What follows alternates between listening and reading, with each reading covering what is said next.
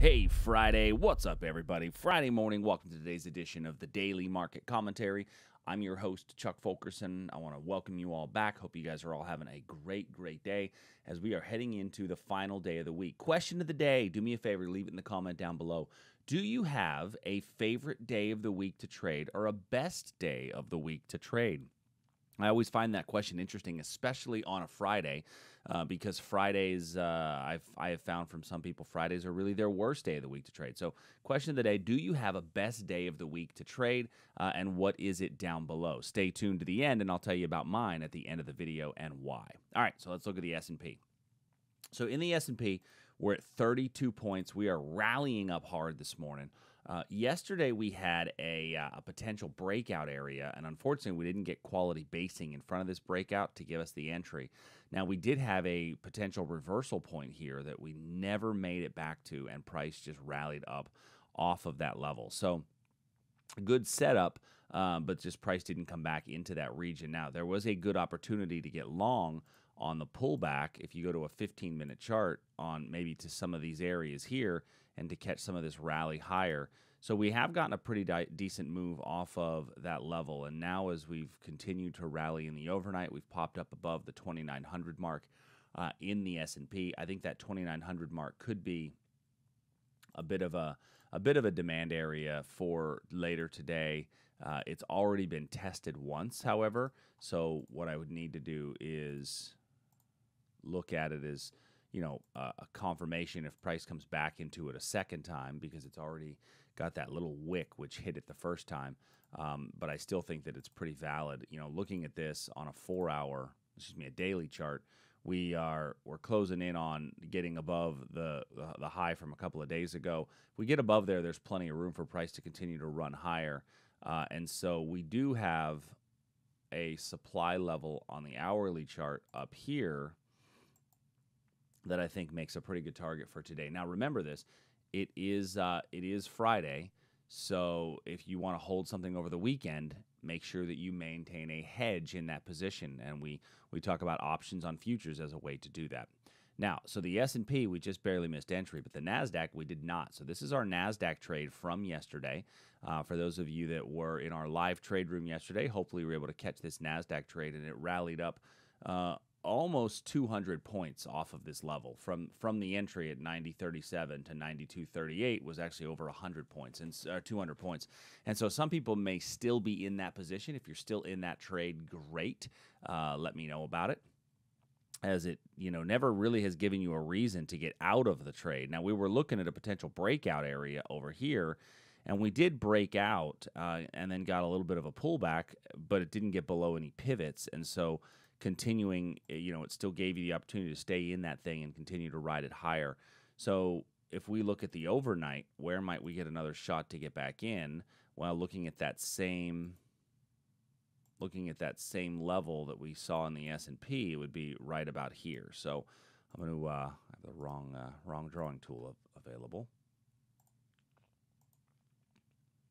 So that would be the level right in there um, for the potential reversal trade uh, if price comes back into that zone. And let's make that a 15 minute level. And once again, it's already been touched, so it has to be a confirmation entry for us in our trading style. I think there's still breakout opportunities above there as well. Uh, and when I look at what we've done year to date, uh, the uh, the Nasdaq is uh, is continuing to uh, to to rally. We're closing in on the high.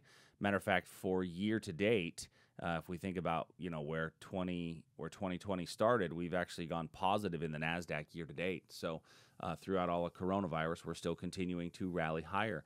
Um, you know, and that's one of the things to consider is that we we looked at some of these levels down here, and I genuinely felt as it rallied up that we could reverse and come back down.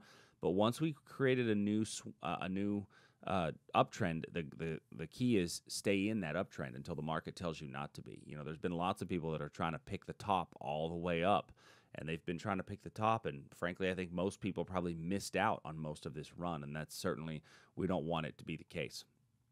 Now, looking at so Nasdaq trade was a great trade yesterday. That trade is a great way to end your week um, if you were able to pick up those couple of hundred points uh, from that move, uh, and you uh, you got a little run. Crude oil, not so much. so I did. Uh, we we've been looking at the September contract as our as our main trading contract, and I had a decent little 15 minute level here uh, that the market just came down into and just blew right through. There's really no. Um, there was no uh, basing in front of the level. Everything said, "Hey, this should uh, this should work out pretty well, at least for a two to one." And then price just blew right through that level. So now we're kind of going sideways after that zone. So looking at where we may go after this, if I go to the one hour chart, we're kind of in a range at this point, but uh, that range that we're in is below this 30, this 29 area. So could be an opportunity to sell maybe a, a bear call spread up in here against one of those positions if you're an options trader. Uh, if you're not an options trader, why not go to tradersarmy.com, learn how to trade options. Not going to cost you a whole bunch of money, and it's going to be fun, and you're going to and you're going to do better in trading anyway. Um, I think we could have a breakdown level below this 2730 as a potential area uh, moving forward. So let's move over and take a look at gold. So gold gave us a huge rally yesterday as we had a big move up uh, in the late U.S. morning hours. And unfortunately, where we had a potential breakout trade, didn't give us any basing in front of the level to tell us to really get in.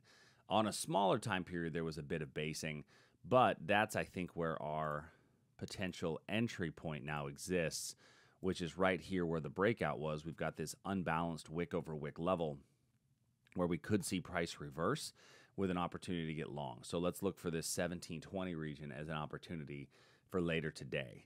Um, moving over to bonds and currencies. If I take a look at our ZN, uh, the, the bonds really also rallied with gold. So our ZN level was a small uh, was a small stop out loss as well as price just hit through there and just boom continue to rally up. Now I'm not dead with the level though because the level did leave behind in its wake this area here, this wick over wick level, um, which is a fairly small wick over wick in the middle of this big move up, and oftentimes I see those being very effective. Now there's another one down here that's closer to the pivot, which is also typically pretty effective. So I'm going to leave both of those in play. And this really came out yesterday on the on the conversation that there's the potential that the U.S. Uh, bonds may go into a negative territory, which I think that news spiked those bonds straight up, and so you're going to get uh, a stop out in some of those in some of those positions. Uh, looking at the Aussie dollar, so our Aussie dollar, we did get a little breakout inside of the Aussie. If you did not uh, catch the breakout, you had this little reversal level here uh, as we got that uh, that little area here on the reversal. So a very strong move away from that level. Uh, now moving up, so that was a that was really another strong level for the day yesterday. Um, looking at this area here as our kind of potential retest zone. If price comes back into this region, I think you may get another bite at the apple right in here.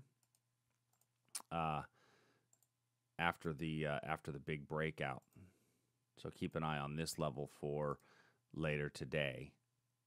Uh, looking at the euro, so in our euro position, now euro position we had set up for a confirmation short, and we did on a 15 minute chart. Now remember, it's a 15 minute chart, so we've got to look at the the purple line 15 minutes. We did have our entry right here right? Price came into the level more than halfway and it triggered the entry. One, two, three, four, five, six candles later, price had gone quite literally nowhere as we were still right on our entry point. And so, uh, following our six candle rule, that oftentimes actually becomes a breakout to the upside, and that's exactly what happened.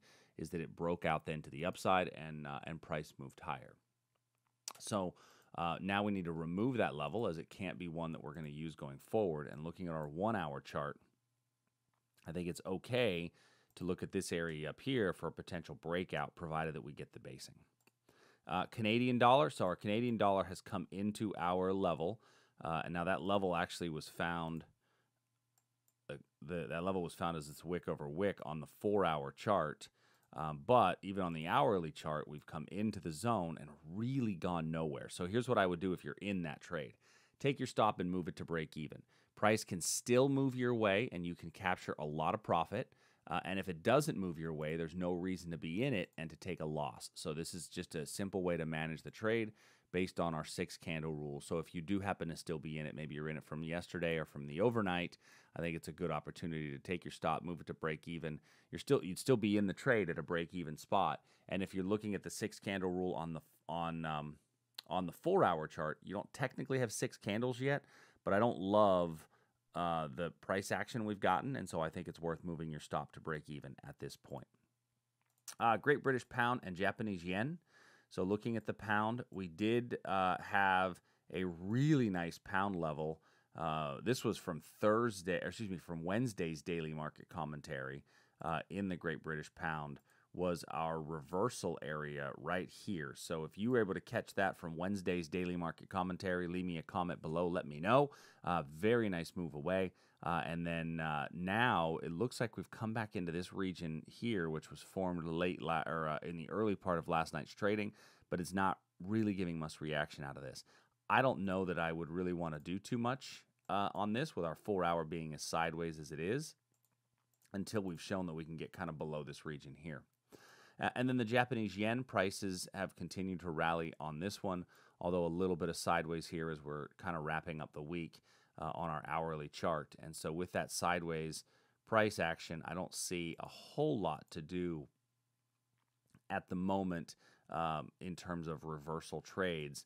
Uh, maybe if we go to the 15 minute, we will spot something that's cleaner. Um, as Austin, as as Doctor Evil would say, how about no? Uh, there's not a whole lot that's better here that's a that is a bit cleaner. So uh, my question of the day, by the way, so kind of wrapping up the, the, the the session, my question of the day was, what was your favorite day of the week to trade? My best seems to be that my best day of the week to trade are Tuesdays. Um, Tuesdays to me are my best day of the week to trade uh, when I'm trading in the weekday for short term intraday trades. But actually, my favorite day is Sundays. Sunday night are my favorite day of the week to trade um, because it sets up the the everything for the coming week, and that's where I get my gap and go scenarios that work out the best. But remember, question of the day is: What is your favorite day of the week to trade? Do you like to trade Fridays? Maybe Fridays aren't your day at all. So leave it in the comment section down below. I want to get as much as we can possible. So I think it would be great. Uh, if you guys have any questions, please send us an email support at tradersarmy.com. Until next week, I'll see you.